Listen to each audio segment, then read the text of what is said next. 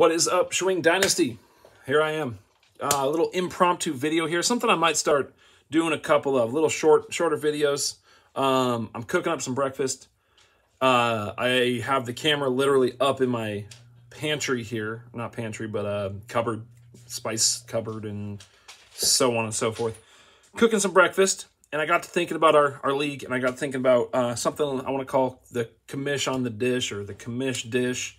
Um, little tip or just talk, uh, get some conversation going, uh, feel free to respond to this in the chat um, if you want to.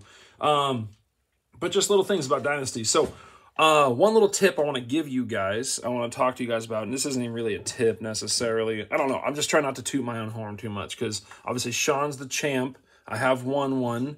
Um, but it's not like I'm dominating this league in any form. Um, but just some ideas, get some conversations flowing. Um, one thing I've done uh, in this league, and it helps me kind of um, look ahead a little bit, is uh, I created a little spreadsheet just to make it real simple for myself, um, kind of color coded. I put in, there's a page for my quarterbacks, page for my running backs, page for my um, wide receivers and tight ends.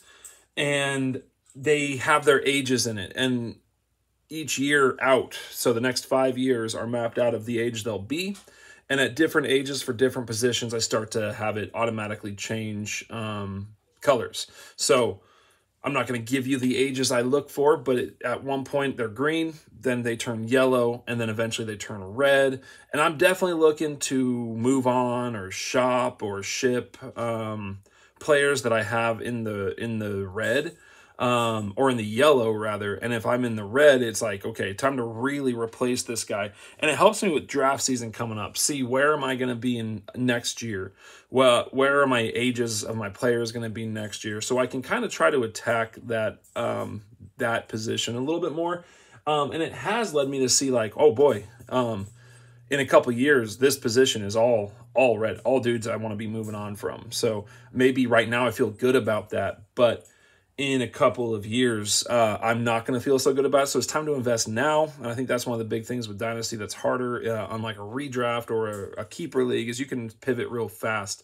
Um, we only have so many opportunities to um, replenish our, our shelves in this uh, in this type of league. Obviously, we have unexpected players we can pick up in waivers, but for the most part, it's the rookie draft and uh, trades. And so looking at like, okay, this team maybe needs a quarterback who, regardless of age, for this year, or needs a running back regardless of age to win this year. But maybe I'm not there yet. I'm not quite ready to compete, and uh, I just don't want to. Uh, I don't want to hold on to a piece where maybe got some lemon here. Um, yep, don't want to hold on to a piece where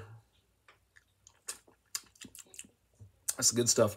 Um, don't want to hold on to a piece that maybe isn't I'm if I'm not ready to win this year, if I'm not looking at winning this year, if I'm not in position to win a championship, maybe it helps someone else, and their younger guys will help in my rebuild or my restocking for the future. Um, so just something to think about.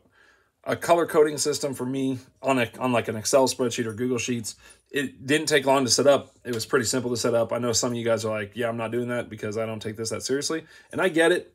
But for those of you guys out there, like, yeah, I want a better way to keep track of this. It does help. It gives it makes it nice and easy to see. And I I usually put my oldest players on top and then down. And if if it's like in two years it's all red, then I know I got to make a make a move uh, and make some changes to help the future of my team. So just a little commish dish here. Um, cooking up some breakfast for the family. Hope you guys are having a good Saturday in Doha, Saturday night in China, Sunday morning. Um, all right. Peace out, guys.